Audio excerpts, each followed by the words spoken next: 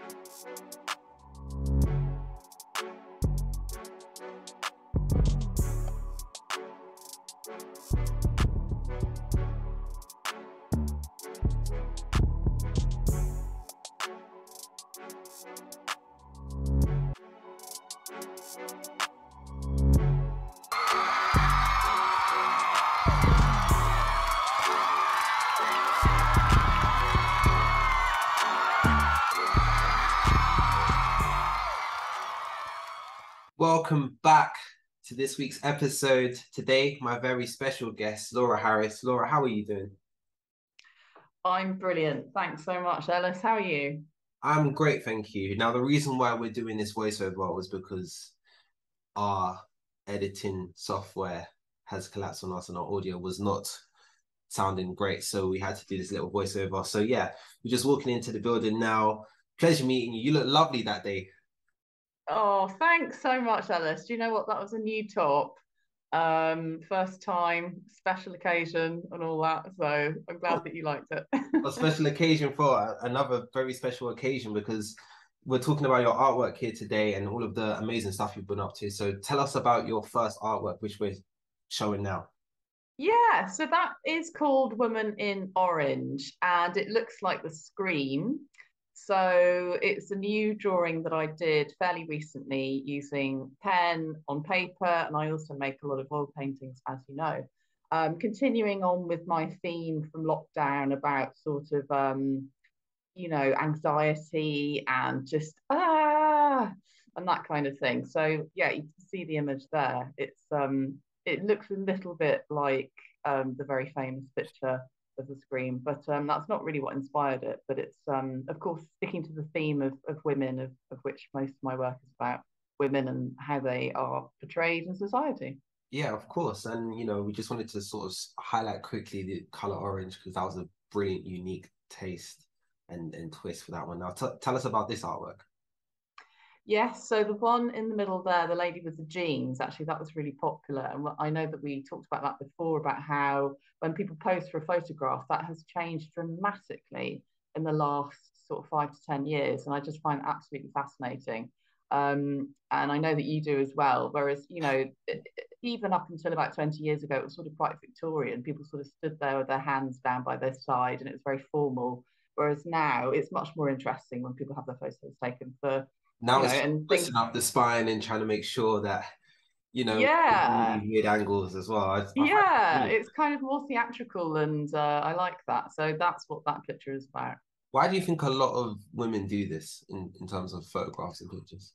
Well, I think social media has had a big impact on the way that we uh, view ourselves and other people. So uh, it's um, you know, lots of models would have sort of originally done sort of quite outlandish things when they're being photographed, but now the normal person, when they're just out and about, you know, will also sort of strike a pose a lot more than people used to. So yeah.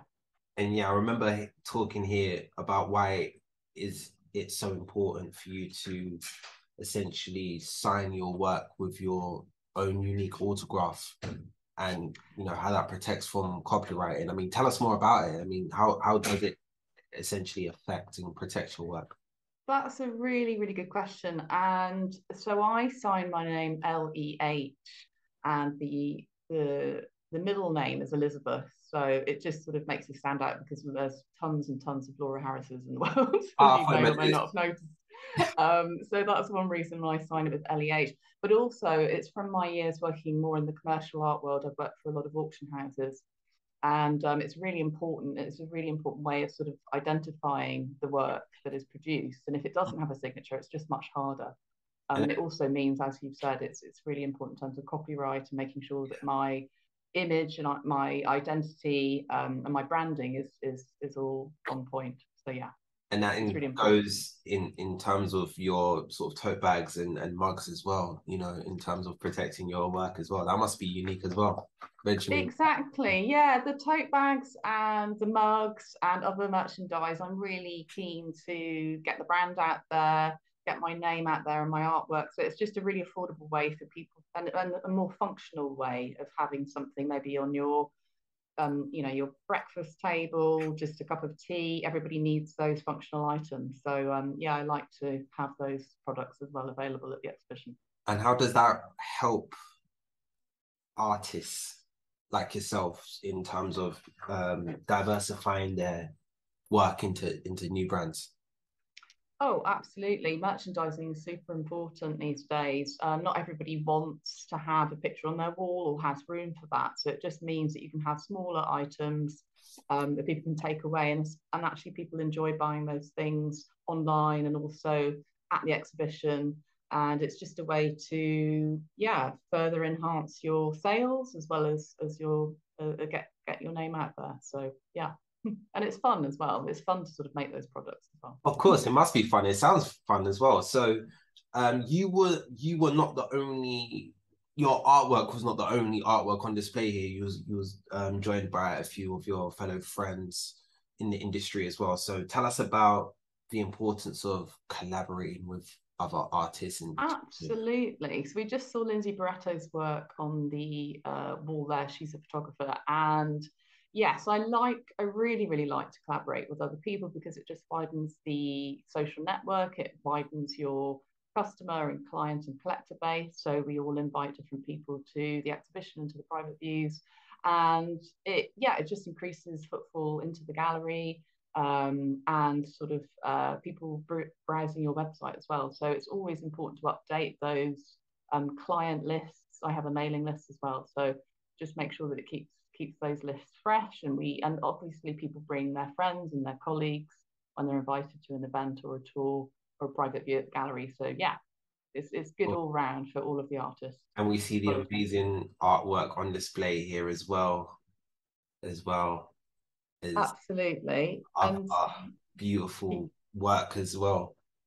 Yeah, here we're going into the back room. This is Christina Carbonara's work, and this is one of my favourite pieces. It's called Graffiti, so that was one of the best works that she produced. Although actually the most popular one was the one right behind me, um, the one of the lamps. So a lot of people really like that piece. But yes, she's really, really developed her style over the last couple of years. And yeah, so I'm really happy with her work this week. And that's um, Christine Carbonara. Awesome. And, you know, as we've seen, each artwork is very different from the other. How That's right. So that yeah. range show in your work in terms of you know i can do this i can do that as well. Why is that so important? Yes it's really good to have a, a sort of the breadth of work different artists. Um, i'm quite interested in where the artists are from so quite a few as you can tell from the names. Uh, Marek Dutker is actually from the um, Czech Republic um, well, he's yeah Slovakia, but he's also lived in the Czech Republic. Um, Christina Carbonara is Italian American. Lindsay Barretto, her surname is Italian, so she's part Italian. Um, so I'm the boring one because I have the very British sounding name. Um, but yeah, I find it really interesting to show um, these different types of artists together um, and it just yeah again it just broadens our reach. There's sort of something that everybody for everyone really. So if you don't like the style of one of the one of us then you're quite likely to like one of the other artists in the exhibition. And i remember you were absolutely buzzing this day. You were so excited to show all of this off and rightly so because this is all amazing. What do you think the messages are in terms of the different artworks? Like in the background you can see the graffiti artwork. What do you think the messages are uh, in that and in your own artwork in which you try to show off. That's right. So Marek Dutker's work is sort of developed from being very figurative and, and sort of quite obvious. Uh, he used to paint pictures of famous people, usually people that have already died.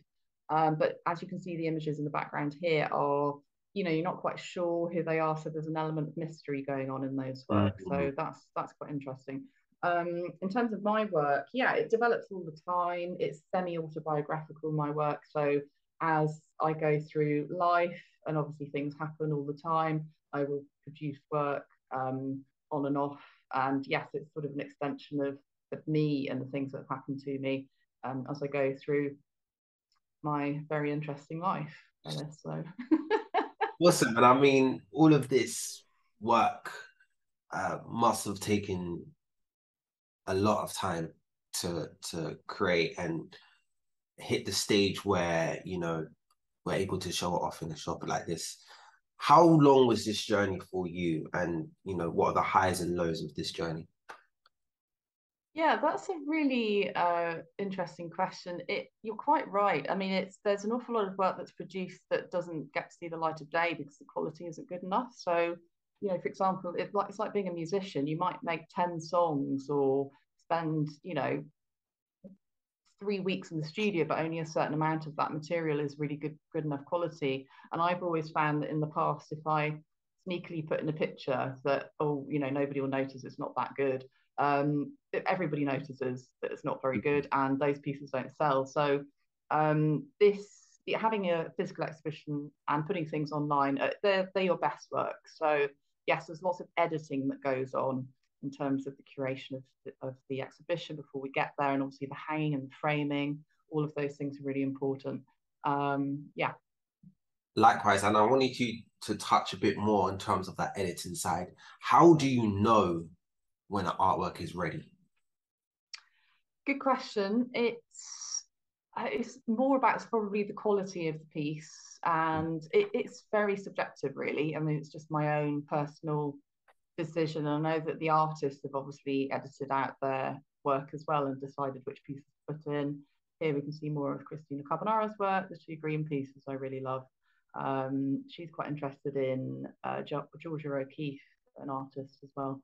Um, so it, yeah, it, we all sort of edit it down, and then of course we get feedback from people as well, which is one thing that you don't really get in the same way when you show your work online on your website. It it really does come from a kind of dialogue with people when they visit the exhibition, and obviously when you came to to see the work as well, you're sort of learning what my style is and what the exhibition is about. So you're kind of a, a curator as well. So all yeah. of the visitors that come to the exhibition are also curating it for me and feeding back. Of course. Now, how important is that feedback for you to develop and build more work of yours?